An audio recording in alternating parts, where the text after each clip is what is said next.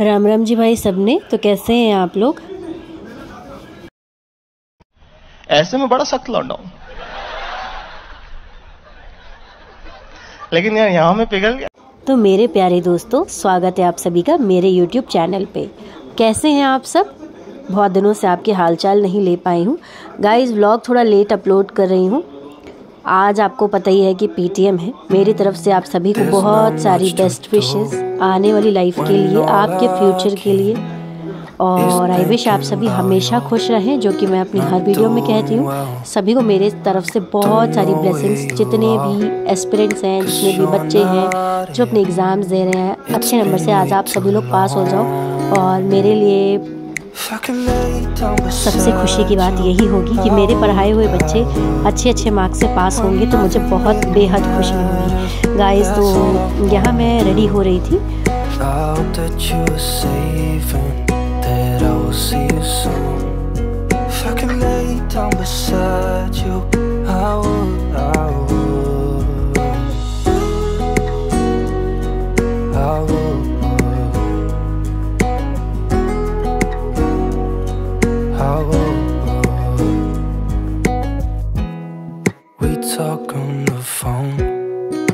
मैं पहुँच गई विद्यालय। विद्यालय प्रांगण में आकर के मैंने देखा कि अभी यहाँ पे कोई भी नहीं आया था। ये रही वरुणा मैम और हम और वरुणा यहाँ पे अपने टेबल चेयर अरेंज कराने लगे और प्रॉपर सारी साफ़ सफ़ाई करके हम लोग यहाँ बैठे और सारे रिज़ल्ट जो है डिस्ट्रीब्यूट किए।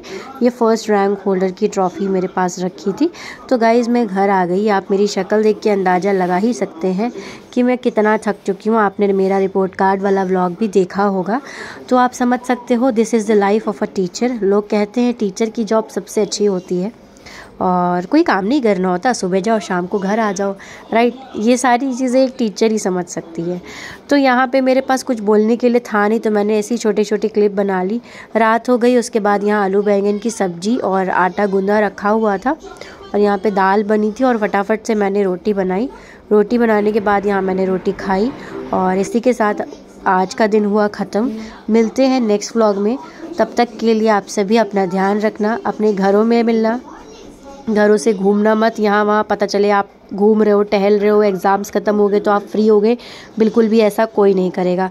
गाइज़ यहाँ पे खाना खाने के बाद मैं चली गई मम्मी के साथ आइसक्रीम लेने के लिए। ये आइसक्रीम मैंने अमूल की ख़रीदी थी और ये टूटी फ्रूटी फ्लेवर था। बहुत ही डिलीशियस और इसमें थोड़ा सा ना बबल गम जैसा टेस्ट आ रहा था।